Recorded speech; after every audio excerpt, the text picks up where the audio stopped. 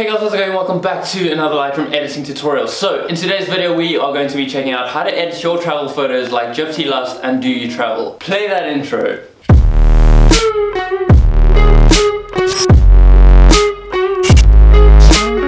What is happening guys? Welcome back to another editing tutorial once again. So, as most of you probably know, I recently got back from my trip to Santorini and it was absolutely incredible. If you haven't seen it yet, just check it out on my channel. It is one of my latest videos. So, in saying that, I took quite a few photos there and Santorini, being the place that it is, attracts a lot of famous Instagrammers and photographers from around the world to go take pictures of this amazing, beautiful place. Luckily enough, I got to experience that and take a few pictures there. So today's episode, we are going to be editing those photos and I'm going to be showing you how famous Instagram travel photographers, Gypsea Lust and Do You Travel have edited their pictures from Santorini. Now, in saying this, their styles are also very influential to my own Instagram feed and not my Visual Rev account, but more so my at Dean Tucker account, which is kind of my personal account, but not really as well. I get like bored of editing in one style, so that is kind of why I have two different accounts, so that I have my Visual Rev account, which keeps the main consistent style, and then I have my Dean Tucker one, which is a lot more film-like, which I used to do back in the past, but now I've kind of evolved with my style, and I want to keep it consistent. So the Dean Tucker is more for the travel, filmy vibes. So we're going to be taking a look at some of the Santorini pictures and editing it in that style. At the end of the video as well, I will be announcing that there is a preset pack available to download, so please stay tuned until then. For now though, let's just jump straight into the editing. So to start off, we are just going to have a look at the profile of Jack Morris, aka Do You Travel on Instagram. And as we can see, he includes quite a lot of browns and blues in his photographs. They all appear to have quite a 2D approach to them, where he has these subjects in the middle with a rather flat background of some really epic landscape or interesting building. As I said, I just got back from Santorini, so we are going to be taking a look at his Santorini edit specifically, and very specifically this one right over here. So if we jump into Lightroom, I've just brought this into Lightroom so we can see the kind of edit that we are trying to go for. And for the example of this tutorial, we are going to use this image, which I took of my friend Ben Keeley while we are over there working for Red Bull. I've also just included a few other photos so I can apply the presets to them and show you guys how they work on all the other photos as well. So let's just jump straight into the edit then. So to start off, I am going to begin with the tone curve and I'm going to bring up the fade quite a bit. I see in most of their photos, they do bring up the fade quite substantially. So I'm going to bring that up to around there. And again, just include the nice basic S curve that I do add to all of my photographs. Just touch it up a little bit in the midtones and that looks good to me. So for this edit, I am going to edit the individual RBG channels. So going to the red one first, I'm just going to bring the shadows down quite a bit. Now it does look really blue, but we will balance this out with the rest of the channels as well, so don't worry. Just making a basic S curve, I'm going to bring up the midtones to the middle and bring up the highlights just a little bit. And now, as I said, we will compensate for this in the other tone curves as well. Bringing the green shadows down a bit, keeping the middle in the center, and bringing up the highlights just a bit. And then lastly, for the blues, we'll do exactly the same thing, just giving it a bit smoother of a S-curve, I think. That should be good for me. Now, I know it's not really looking like the edit at the moment, but don't worry, we will definitely get there. Up next, I'm going to edit the basic settings, and what I've noticed from Do You Travel and Gypsea Lust feeds is that they have very little contrast in their feeds. They like to have quite flat and faded shadows, and they bring down the highlights quite a bit, so it makes the whole image quite grey and flat. So in saying that, going to bring the contrast down to about minus 40 and then I'm going to bring the highlights down to about minus 65 and bring the shadows up to around 73. I'm also just going to bring the whites up a little bit just so that we don't lose too much of the contrast. I'm not going to mess with the clarity, the vibrance, or the saturation for now, so we're going to move on to the HSL. Starting with the hues, I'm not going to touch the red and oranges too much. I am going to bring the yellows a bit more into the orange side though. I'm also going to bring the greens down into the yellow side just to affect this hillside a bit more. What I'm also going to do is just bring the blues up a little bit into more of the purplish color. I think it might just be a bit too teal for my liking at the moment. Moving on to the saturation, I'm going to bring the saturation of the reds down to minus 15.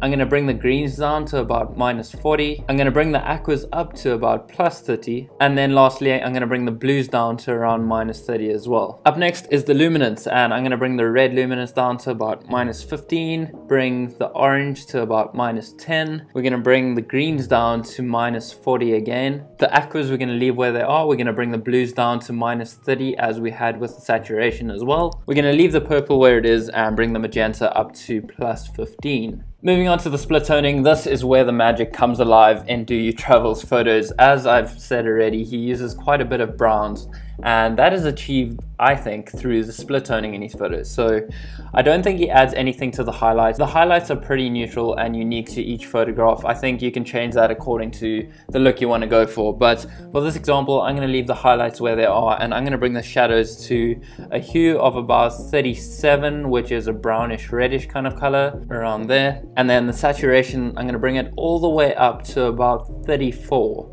Especially recently, he's been using browns quite a bit in his photos, so that's why I've brought it quite high. Next, we have the detail, and I don't think we need to mess with this too much. I might just bring up the sharpening a little bit, but you really don't need to if your photo is sharp already. With regards to the grain and the vignetting, I also don't think we need any of that, so I'm going to move on to the camera calibration where we can make these colors pop even more. To start, I'm going to bring the red hue up to about 35, and I'm going to bring the saturation down to minus 10. For the green primary, I'm going to balance this out a bit and bring it up to to plus 50 and bring the saturation down to minus 20. And then lastly for the blues, I'm going to bring this down to about minus 35 and bring the saturation down to minus 40. So if we look at this from the before and after, it's looking pretty good. And I think we have come very close to achieving the look that they have in their photo. It does look like they have added a bit of grain in this photo. So I am going to go ahead and add some grain. I know I just said I'm not going to, but I'm just going to bring it up to about 35 maybe. I don't think they have too much looks very fine. You can also see that they have taken this picture at about sunset time or sunrise,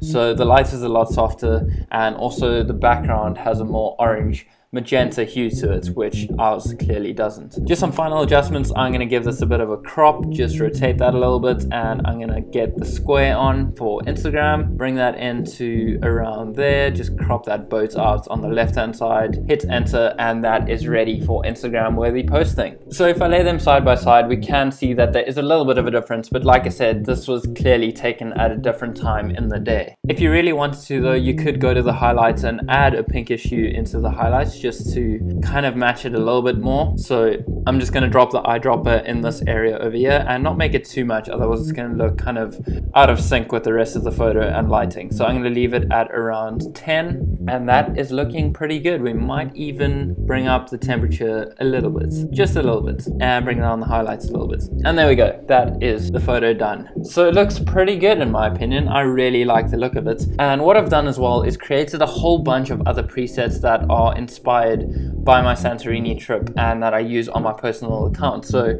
I'm going to be putting these in a preset pack where you guys can go check it out and download it for yourself. But for now though, I'm just going to show you some examples of these presets in action. So I'm going to go through them and just show you how they're looking. So D1 brings a bit more of the blue into it. D2 brings even more of the blue into it, but more of an aqua color. Also, these can be used for more tropical kind of photos as well. Just really anything that you want to use it for. D3 going into lesser of a blue color. D4 desaturates that blue completely. D5 brings a bit more fade into the picture. D6 even more fade and grain. D7 is good for sunset photos. So I'll just show you with this photo right here.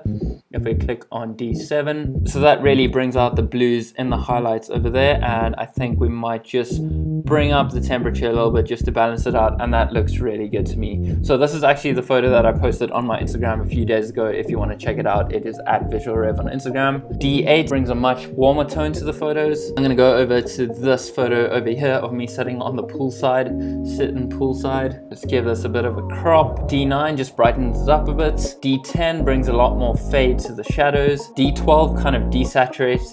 And D13 is actually one of my favorite ones. And this is what I'm using on my personal account at the moment. Uh, you might have seen this picture that I posted the other day. I used D13 for this one. So I love this look and this is the preset I use most often on my at Dean Tucker account. D14 just brings those blues right back in. D15 is desaturated once again but also quite faded. D16 is the preset that we have just created for this example right here. D17 is a wonderful black and white preset of my own creation and D18 is a black and white preset inspired by Do You Travel, which is a lot more faded and a bit darker in its appearance. So we'll hit back on D16, which is the edit that we have just made looking amazing and from the before and after I think it looks really good so I hope you guys have enjoyed this tutorial if you want to check out my own Instagram as well as all these posts with my editing as well, check out my accounts at Dean Tucker as well as at Visual Rev. And there we go, that is how I edit my personal photographs as well as achieving the look and style of Do You Travel and Gypsea Lust. Now, they do have many different styles to their photographs. This is just one of the looks that I've shown you. But if you would like to check out the preset pack and all the presets that I use to edit my own personal photographs on my at Dean Tucker account, so go check that account out if you're not following it already. Uh, but if you would like to get those presets, check out the link in the description, which is like right there. And there will be a link to a site called filterpro.co where the preset pack will be available.